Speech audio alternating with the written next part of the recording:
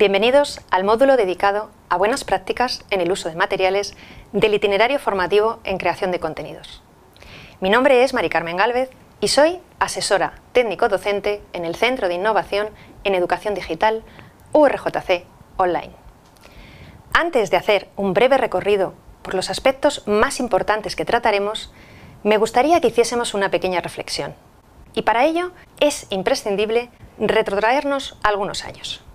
Un profesor de universidad llegaba al aula e impartía docencia. Normalmente una clase magistral que podía estar acompañada del uso de algunos elementos de apoyo.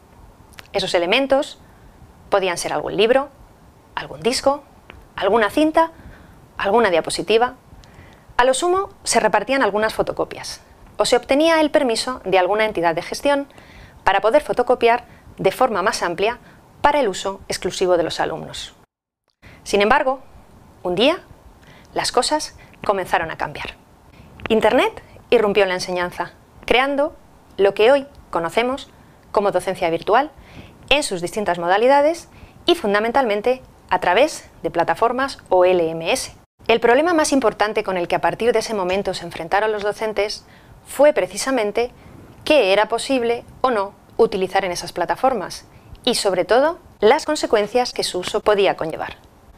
A lo largo de este módulo trataremos de ver, por un lado, qué aspectos debemos tener en cuenta a la hora de utilizar materiales con derechos de autor en plataformas virtuales, así como cuál es la actual legislación vigente en torno a la propiedad intelectual y la forma en la que nos afecta como docentes y usuarios del aula virtual de la Universidad Rey Juan Carlos.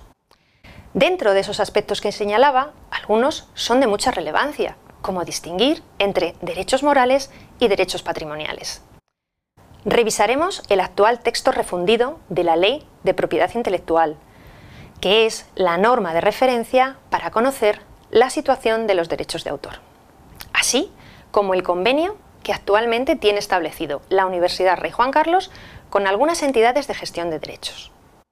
Finalmente, definiremos qué tipo de uso se puede realizar de los diferentes materiales y cómo es posible utilizarlos en el aula virtual y en qué medida.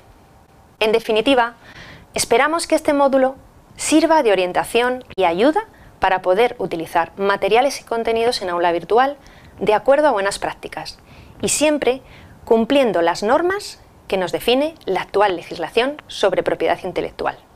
Te esperamos.